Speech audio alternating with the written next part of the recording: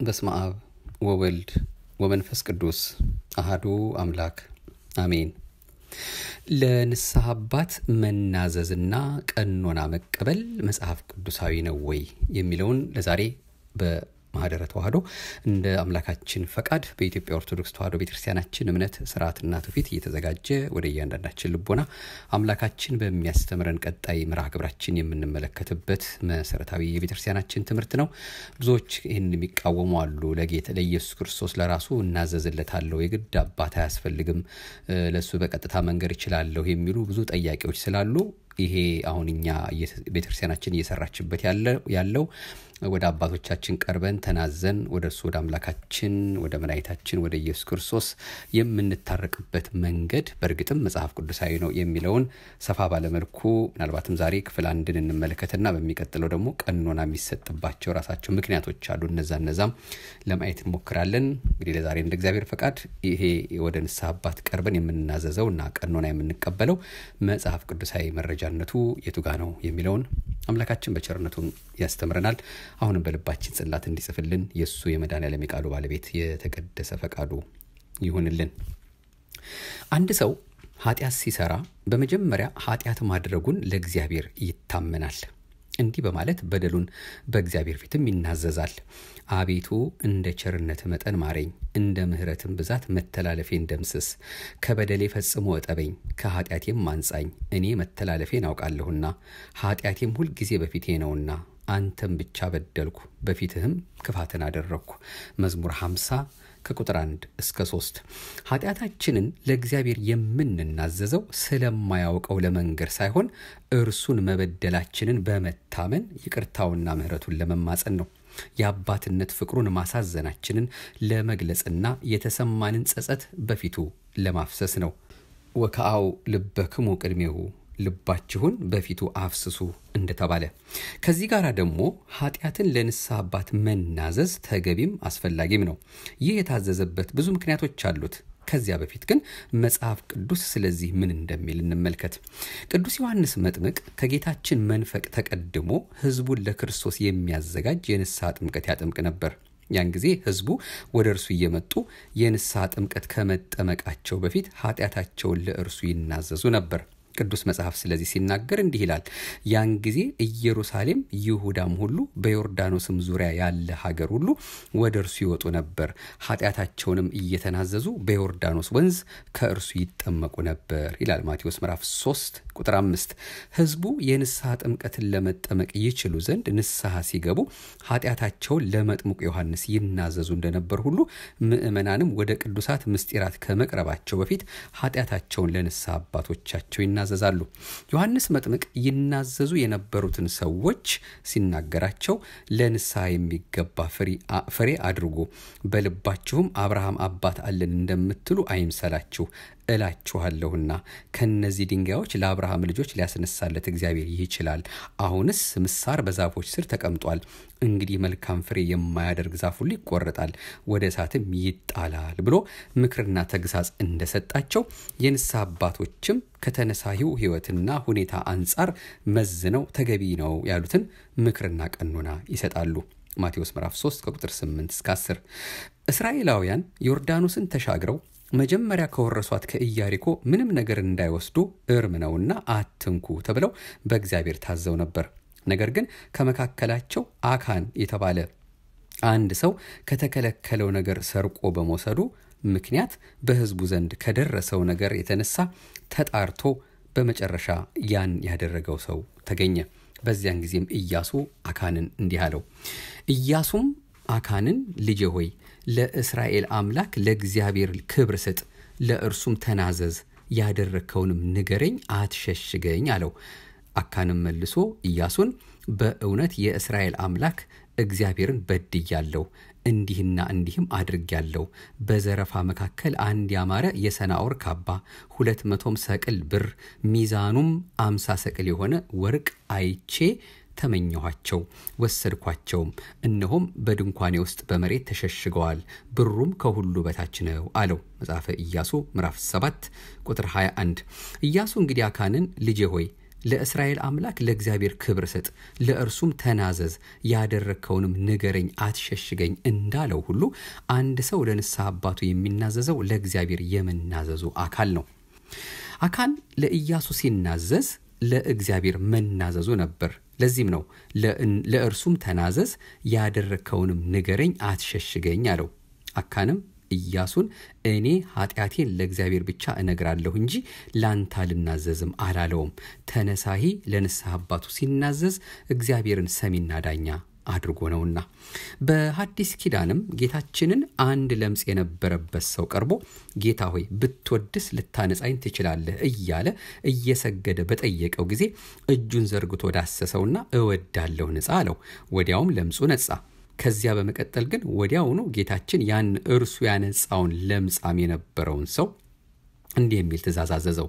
ጌታችን ኢየሱስም ለማንም እንዳትናገር ተጠንቀቅ፣ ነገር ግን ሄደህ ራስህን ለካህን አሳይ፣ ለእነርሱም ምስክር እንዲሆን ሙሴ ያዘዘውን መባ አቅርብ አለው። ማቴዎስ ምዕራፍ 8 ቁጥር 24 ቁጥር 2 እስከ 4 ይቅርታ፣ ማቴዎስ ምዕራፍ 8 ቁጥር 2 ምንም እንኳ ያን ለምጻም ራሱ ጌታችን ያገኘውና የፈወሰው ቢሆንም በጌታችን ፈውስ ላይ ሌላ የሚያስፈልግ አንዳችም የቀረ ተጨማሪ ነገር ባይኖርም፣ ነገር ግን ራሱ ባለቤቱ ጌታችን ያን ያነጻውን ሰው ሄደህ ራስህን ለካህን አሳይ ሲል አዞታል። ይህን የንስሐ አባትና ልጅ ግንኙነት በንጉሥ ዳዊትና በነቢዩ በናታን ግንኙነትም ማየት እንችላለን። ዳዊት ቤተ መቅደስ ስለ መስራት ሲያስብ ጉዳዩን ያማከረውና ወደ እግዚአብሔር እንዲያመለክትለት የነገረው ነቢዩ ናታንን ነበር። ነቢዩ ናታንም ወደ እግዚአብሔር እየጸለየ ከአምላኩ ያገኘውን መልስ ለዳዊት ይነግረው ነበር። በኋላ ላይ ዳዊት የኃጢአት መሰናክል ባገኘው ጊዜም እግዚአብሔር ዳዊትን ከኃጢአት እንቅልፍ ይቀሰቅሰውና ንስሐ ይገባ ዘንድ የላከው ያንኑ ነቢዩ ናታንን ነበር። ናታንም ሄዶ በጥበብና በብልሃት ለዳዊት ኃጢአቱን ነገረው። ያን ጊዜ ዳዊት ጥፋቱን አመነ፣ ተጸጸተ፣ ንስሐም ገባ። የንስሐ አባት የሚያስፈልግበት አንዱ ምክንያት እያንዳንዱን ሰው እንዲህ ቀስ አድርጎ በፈሊጥ ውድቀቱን እንዲገነዘብና ንስሐ እንዲገባ ለማድረግ ነው። ይህ በአውደ ምሕረት በሚደረግ ስብከት ብቻ የሚያልቅ ጉዳይ አይደለም። ዳዊት ስለበደለው ባለጸጋ ግፍ ነቢዩ ናታን በምሳሌ አድርጎ ሲነግረው ያ የሚባለው ሰው እርሱ ራሱ መሆኑን አላወቀም ነበር። ኃጢአት ሲጫጫን አይምሮን ያደነዝዛል፣ ልቡናን ያጨልማልና። ሆኖም ነቢዩ ናታን ቀስ እያደረገ በምሳሌና በጥበብ ስላስረዳው የኃጢአቱን ክብደት ለመረዳት ቻለ፣ ንስሐም ገባ። ስለሆነም እያንዳንዱን ሰው እንደየድክመቱና ጥንካሬው በመንፈሳዊ ሕይወት የሚመራ የሚመክር፣ ወደ እግዚአብሔር በመጸለይ በጸሎቱ የሚራዳ መንፈሳዊ አባት አስፈላጊ ነው። ጌታችንና አምላካችን መድኃኒታችን ኢየሱስ ክርስቶስ የንስሐ አባትነትን ተግባርና አፈጻጸም በተግባርም አሳይቶናል። በሕይወቷ ከደረሰባት ውስብስብ ውጣ ውረድ የተነሳ ልቧ ቆስሎ ውስጧ ተጎድቶና ሰው ጠልቶ የነበረችው ሳምራዊቷን ሴት ብቻዋን አግኝቶ አናገራት። ለዚህም ሲል ደቀ መዛሙርቱን ቀደም አድርጎ ምግብ ግዙ ብሎ ላካቸው። እርሷ ሰዎች ልቧን ያቆሰሏት በመሆኑ የዚያ አካባቢ ሴቶች ውሃ የሚቀዱት አየሩ ቀዝቀዝ ሲል በጠዋትና በማታ ስለነበር ሰው በማይገኝበት ሰዓት ለመቅዳት ስትል በጠራራ ፀሐይ በቀትር ወደ ውሃው ጉድጓድ ሄደች። ጌታችን የስድስት ሰዓት ያህል መንገድ በሰማሪያ ሞቃታማ መንገድ የተጓዘው ለዚህ ነበር። ከዚያም ልትቀዳ በመጣችው በውሃ በመጀመር ቀስ በቀስ ከምድራዊ ነገር ወደ ሰማያዊ ከጊዜያዊ ወደ ዘላለማዊ ነገር ከፍ ከፍ አደረጋት፣ አሸጋገራት። ከዚያም ጌታችን ሂጅና ባልሽን ጠርተሽ ወደዚህ ነይ አላት። ይህን ያላት በውስጧ ያለውን ኃጢአቷን እንድትናዘዝ በሩን እየከፈተላትና መንገዱን እያሳያት ነበር። እርሷን መልሳ ባል የለኝም አለችው።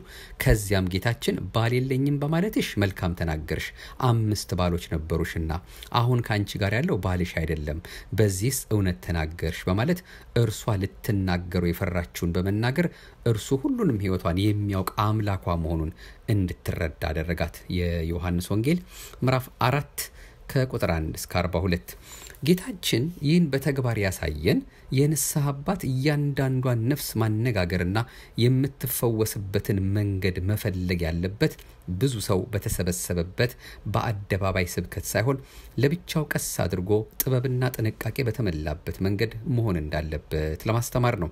ምክንያቱም የአንዱ ስብራት ከሌላው ጋር ላይገጥም ይችላል። የአንዱ ደካማ ጎን ለሌላው ምንም ላይሆን ይችላል። በዚህ ዓለም ሐኪም ቤት እንኳ የአንዱ በሽታ ከሌላው የተለየ ነው። የአንዱ ወይም ደግሞ ለአንዱ የሚታዘዘው መድኃኒት ለሌላኛው ላይ ሆኖ ይችላል። ለዚህ ነው ሐኪሞች እያንዳንዱን ታማሚ ለየብቻው የሚያናግሩት የሚመረምሩትም። ስጋዊ በሆነው የታማሚዎች ምርመራና ሕክምና እንኳ ይህን ያህል ጥንቃቄ የሚያስፈልግ ከሆነ ረቂቅና መንፈሳዊ ስለሆነውማ ምን ያህል ያስፈልግ ይሆን? ስለዚህ የንስሐ አባትና የንስሐ ልጅ ግንኙነት እንዲህ ያለ ምስጢራዊና እግዚአብሔር ብቻ ምስክሩ የሆነ በሁለቱ መካከል ብቻ የሚኖር ምስጢራዊ ግንኙነት ነው ማለት ነው። የንስሐ አባቶች በእነርሱ አባትነት ስር ላለው ለእያንዳንዱ ሰው ነፍስ ኃላፊነትና ተጠያቂነት አለባቸው። እግዚአብሔር በነቢዩ አማካኝነት ኃጢአተኛውን ኃጢአተኛ ሆይ በእርግጥ ትሞታለህ ባልኩ ጊዜ ኃጢአተኛውን ከመንገዱ ታስጠነቅቅ ዘንድ ባትናገር ያ ኃጢአተኛ በኃጢአቱ ይሞታል፣ ደሙን ግን ከእጅህ እፈልጋለሁ። ነገር ግን ከመንገዱ ይመለስ ዘንድ ኃጢአተኛውን ብታስጠነቅቀው እርሱም ከመንገዱ ባይመለስ በኃጢአቱ ይሞታል፣ አንተ ግን ነፍስህን አድነሃል በማለት የተናገረው ጠንካራ ማሳሰቢያ ይህን ከባድ አደራ ነው። ትንቢተ ሕዝቅኤል ምዕራፍ 33 ቁጥር 8። ለዚህ ነው ሐዋርያው ቅዱስ ጳውሎስም ለዋኖቻችሁ ታዘዙና ተገዙ፣ እነርሱ ስሌትን እንደሚሰጡ አድርገው ይህንኑ በደስታ እንጂ በሐዘን እንዳያደርጉት ስለ ነፍሳችሁ ይተጋሉ በማለት በዕብራውያን መልእክቱ ያሳሰበው ዕብራውያን 13 ቁጥር 17 እነዚህ ስሌትን እንደሚሰጡ አድርገው ስለ ነፍሳችሁ ይተጋሉ የተባሉት የንስሐ አባቶች ናቸው። ለነፍሳት ቢተጉ የመልካም እረኞች ጌታ መልካም ዋጋቸውን ይሰጣቸዋል። የእረኞችም አለቃ በሚገለጥበት ጊዜ የማያልፈውን የክብርን አክሊል ትቀበላላችሁ ተብለዋልና አንደኛ ጴጥሮስ ምዕራፍ አምስት ቁጥር አራት የተጣለባቸውን አደራ ባይወጡ ደግሞ ስለ በጎቹ ነፍስ አሳልፎ የሰጠው እውነተኛው እረኛ ይጠይቃቸዋል። ደሙን ከእጅህ እፈልጋለሁ ይላልና ለካህን መናዘዝና ቀኖና መቀበል በአንቀጸ ንስሐ አግባብ መሰረት ቀኖና መቀበል ማለት አንድ ሰው ከሃይማኖት ወይም ከተግባራዊ የክርስትና የህይወት መንገድ በተለያየ ደረጃና ሁኔታ ወጣ ብሎ ወይም አፈንግጦ ከነበረ ወደ መስመር እንዲመለስና ሃይማኖታዊውን የህይወት ጉዞ በትክክለኛው ጎዳና እንዲጓዝ መርዳትና ማድረግ ነው። ሰው በዚህ ዓለም ሲኖር መጠኑና አይነቱ ይለያያል እንጂ ውጣ ውረድና ስህተት ስለማይጠፋ ንስሐ ሲገባ የሰውየውን የተለያዩ ሁኔታዎች ባገናዘበ ሁኔታ የንስሐ አባቱ ቀኖና ይሰጠዋል። አንድ ምዕመን በኃጢአት ሲሰነካከል እንደ ድቀቱ ስፋትና ጥልቀት ፍቅርና ማጽናኛ ሊለየው ከማይገባ መጠነኛ ተግሳጽና ምክር አንስቶ ለተወሰነ ጊዜ ከማህበረ ምዕመናን እስከ መለየት የሚያደርስ ጽኑ ቀኖና ሊሰጠው ይችላል። ይህም በቅዱሳት መጽሐፍት በስፋት ተገልጾ የምናገኘው ነገር ነው። በቆሮንቶስ ቤተ ክርስቲያን ዘንድ በሕይወታቸው በጣም ከባድ የሆኑ ኃጢአቶች ውስጥ ገብተው የነበሩ አንዳንድ ምዕመናን ነበሩ።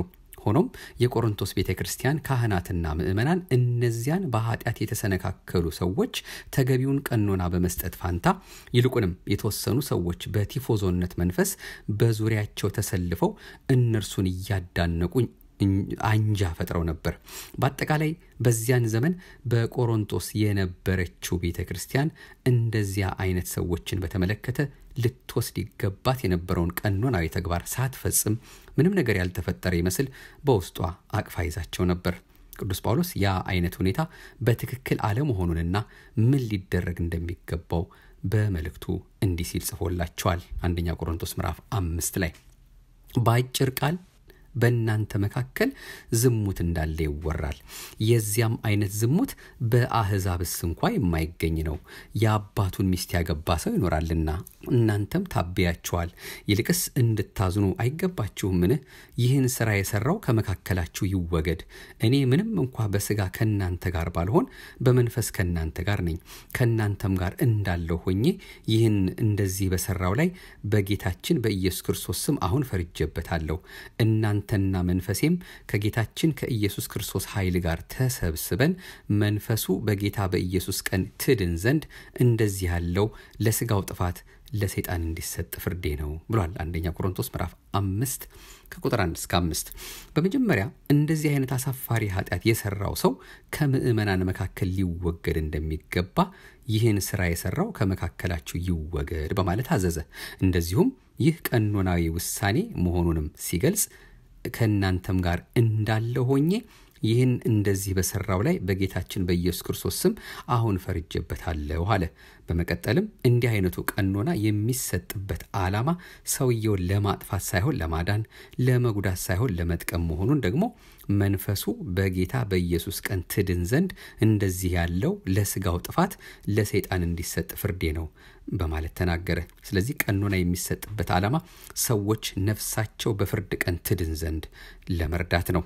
ጥፋተኛው እንዲህ ጽኑ ቀኖና እንዲሰጠው ካዘዘ በኋላ ደግሞ ያ ቀኖና የተሰጠው ሰው ተስፋ እንዳይቆርጥና በብዙ ሐዘን እንዳይዋጥ ከተወሰነ የቀኖና ጊዜ በኋላ ምሕረትና ሐዘኔታውን ወይም ደግሞ ሐዘኔታን ማሳየት እንዲገባ በሁለተኛዋ የቆሮንቶስ መልእክቱ ደግሞ እንዲህ ብሏቸዋል። በብዙ መከራና ከልብ ጭንቀት በብዙም እንባ ጽፌላችሁ ነበርና ይህም እናንተን አብዝቼ የምወድበትን ፍቅር እንድታውቁ እንጂ እንዳሳዝናችሁ አይደለም። ነገር ግን ማንም አሳዝኖ ቢሆን እንዳልከብድባችሁ በክፍል ሁላችሁን እንጂ እኔን ያሳዘነ አይደለም። እንደዚህ ላለ ሰው ይህ ከእናንተ የምትበዙት የቀጣችሁት ቅጣት ይበቃዋልና እንደዚህ ያለው ከልክ በሚበዛ ሐዘን እንዳይዋጥ ይልቅ ተመልሳችሁ ይቅር ማለትና ማጽናናት ይገባችኋል።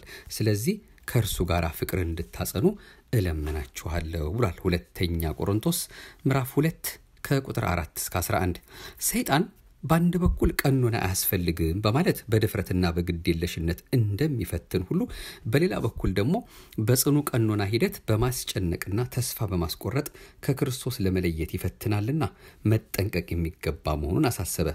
ስለዚህም ያን አስቀድሞ ለስጋው ጥፋት ለሰይጣን እንዲሰጥ ፍርዴ ነው በማለት ጽኑ ቀኖና ይሰጠው ያለውን ሰው ከተወሰነ የቀኖና ጊዜ በኋላ ደግሞ ይቅር ብለው ከማህበረ ምዕመናን እንዲቀላቅሉትና ፍቅር እንዲያሳዩት ያዘዘበት ምክንያት ምን እንደሆነ ሲገልጽ በሰይጣን እንዳንታለል የእርሱን ሐሳብ አንስተውምና አለ።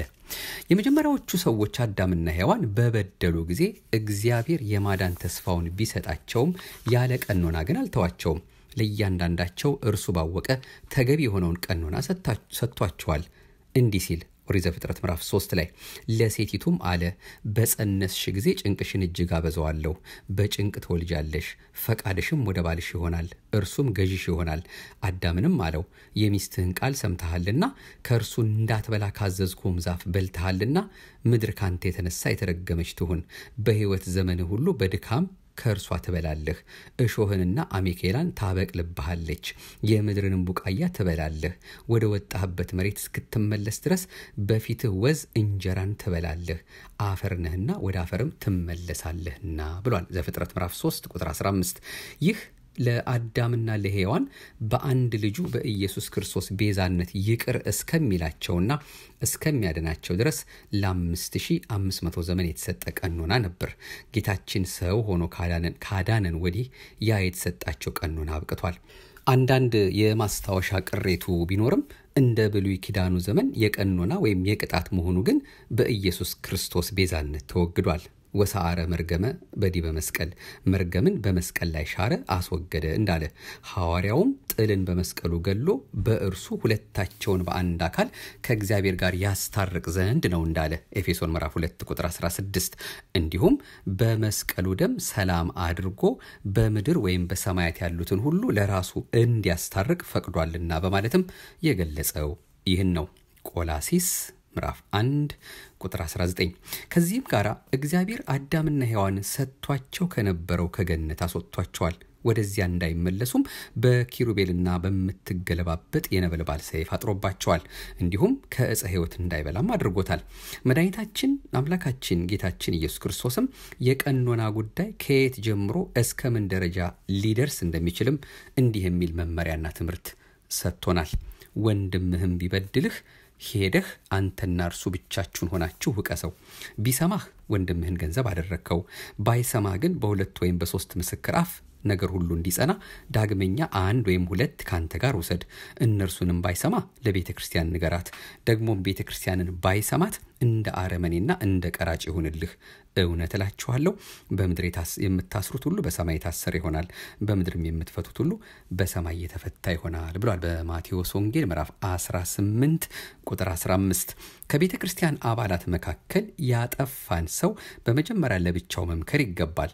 በዚህ የማይመለስ ከሆነ በሁለት ወይም በሶስት ምስክሮች መንገርና ተገቢውን ቀኖና መስጠት ይቀጥላል። ሆኖም ለቤተ ክርስቲያን ከተነገረ በኋላ አሁንም የማይመለስ ከሆነ ግን እንደ አረመኔና ቀራጭ ይሆናል። ማለትም አረመኔ የሆነ ኢጥሙቅ ከቤተ ክርስቲያን ምስጢራት መሳተፍ እንደማይችለው ሁሉ ተመክሮ ተዘክሮ አልመለስም ያለ ምእመንም ከቤተ ክርስቲያን እስከ መለየት እስከ መወገዝ ሊደርስ ይችላል ማለት ነው። እንግዲህ ከብዙ በጥቂቱ የንስሐን ጥቅምና በተለይም ደግሞ ለአባቶቻችን ንስሐችንን መንገር እንዳለብን በመጽሐፍ ቅዱስ ይህን የመሰለ ትምህርት አለው። እንዲሁም ደግሞ ለካህን መናዘዝ እንግዲህ በአጠቃላይ የቀኖናን ጉዳይም እንደዚሁ በስፋት አይተናል። እንደውም በሚቀጥለው በክፍል ሁለት በዚህ መርሃ ግብራችን ቀኖና የሚሰጥባቸው ምክንያቶች አሉ። እነዛ ምን እንደሆኑ በእውነት አምላካችን በቸርነቱ የሚያስተምረን አለ። እሱን ደግሞ እንዲሁ እንከታተላለን። ብዙ ጥያቄዎቻችን በዚህ ውስጥ ይመለሳሉ። ብዙዎችም ጠያቂዎችም ደግሞ ሲጠይቁን እኛም ያን መልስ ለመስጠትም ያዘጋጀናል። እንደርሱ እንደ አምላካችን ፈቃድ መጽሐፍ ቅዱስን ጠቅሰን ለሌሎቹ የቤተክርስቲያናችን ትምህርት ምስክር አድርገን እንናገርበታለን። የእምነት ድፍረት እናገኝበታለን እና በዚህ መልኩ እንግዲህ ቤተክርስቲያናችን ታስተምረናለች። ከሁሉ በላይ አሁንም ሁላችንም መቼም ደጅ የምንጠናው ለዚያች ለሰማያዊ ማዕዱ እንዲያበቃን ለክብር እንዲያደርሰን ለደገኛዋ ክብር እንዲያመጣን እንዲያበቃን እንዲያደርሰን ነውና አሁንም ወደ ንስሐ አባቶቻችን ቀርበን የቸርነቱና የምሕረቱን የይቅርታውን ስራ እየናፈቅን እየጠራን ደጅ እየጠናን መድኃኔዓለም ሁላችንም ለዚያች ለምናፍቃት ለሰማያዊ ማዕዱ እንዲያደርሰን የእሱ የመድኃኔዓለም ፈቃዱ ይሁንልን። ይቆየን። መድሎተ ጽድቅ የእውነት ሚዛን ከተባለው መጽሐፍ ነው ይህን መልእክት ያገኘ ነው።